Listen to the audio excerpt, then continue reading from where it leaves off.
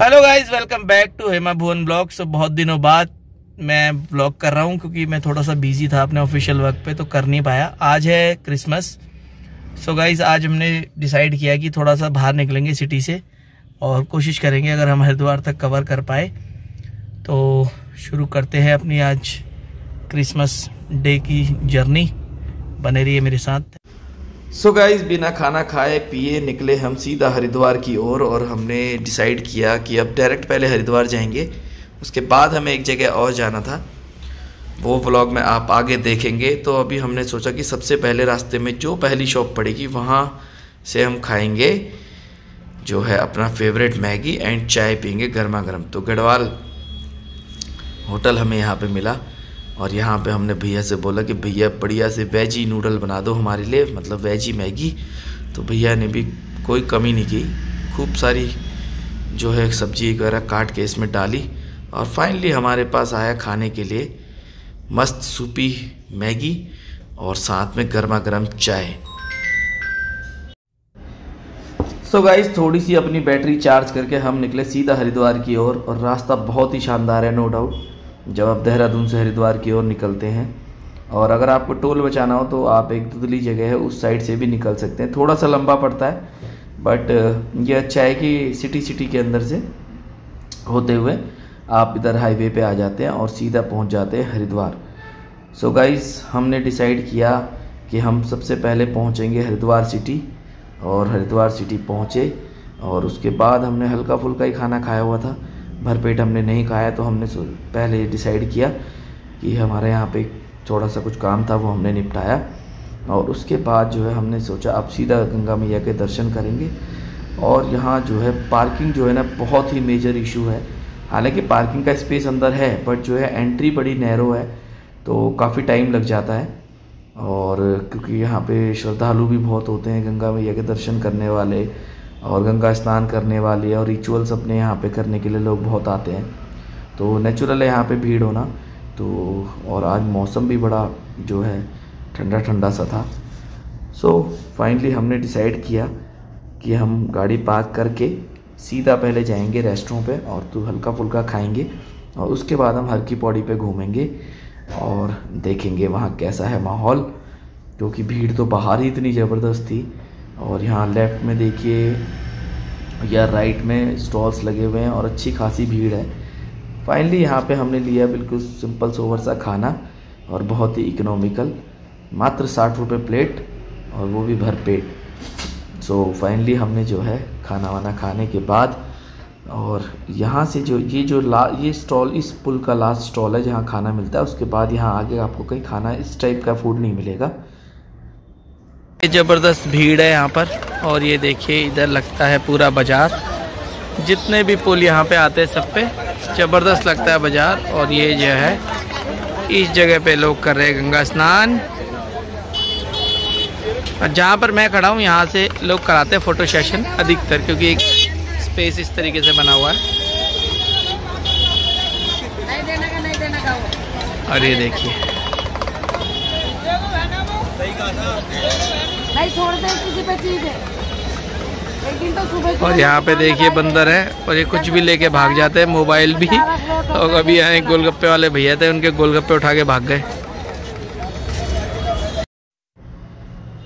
सो so guys ये hotel Ganga Lahari और इसके ऊपर आपको दिखेंगी मनसा देवी के दर्शन आपको डायरेक्ट यहाँ से हो जाएँगे।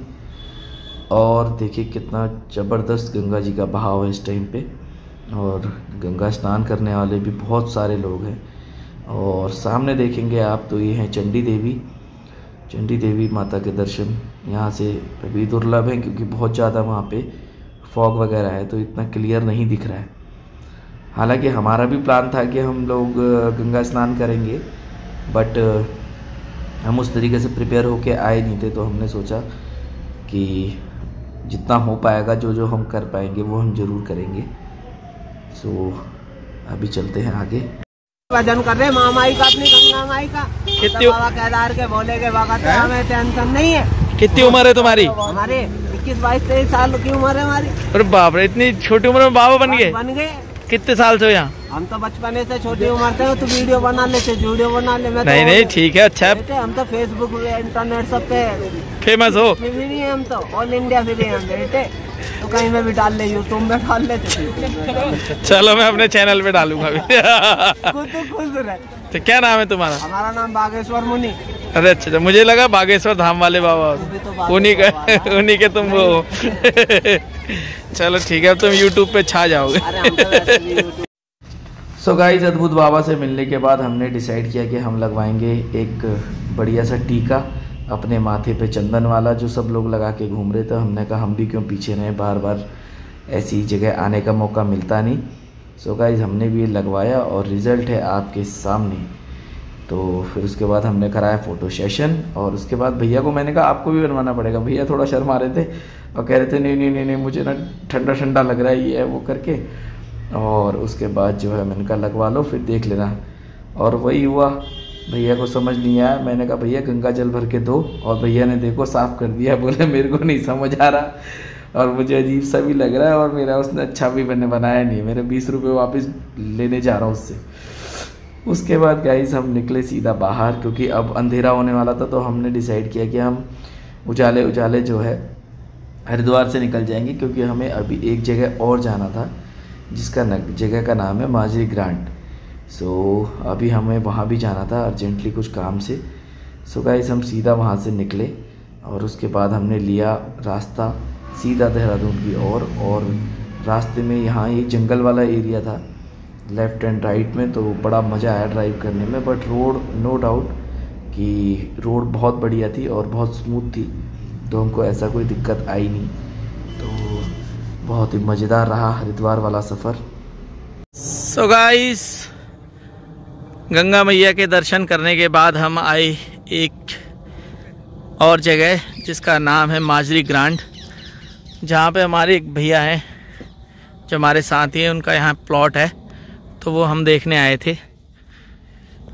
तो ये लगभग लगभग देहरादून से जो है 12-13 किलोमीटर के आसपास होना चाहिए, या मोर देन दैट सो यहाँ पे भी अब प्लॉटिंग और बसावट हो रही है एग्रीकल्चर लैंड पे, और धीरे धीरे यहाँ पे भी लोग बस रहे हैं शहरों से आकर।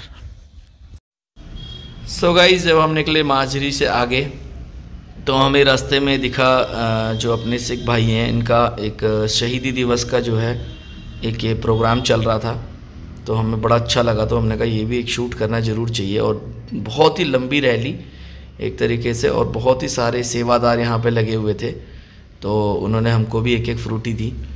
तो बड़ा अच्छा लगा कि लोग अपने धर्म के प्रति देखिए कितने वो हैं और बड़ा अच्छा इन्होंने अरेंजमेंट किया हुआ था जगह जगह पे सेवाएँ हो रही थी। सो गाइस देखिए आते आते हो गया था अंधेरा और हम हैं इस टाइम लगभग लगभग दुधली के आसपास जो हरिद्वार से रास्ता आता है देहरादून की तरफ़ उसके बीच में। सो so, बड़ा अमेजिंग सा एक्सपीरियंस और थोड़ा डरावना सा एक्सपीरियंस दोनों मिक्स टाइप का हो रहा है। एक लर्निंग अच्छी हो रही है।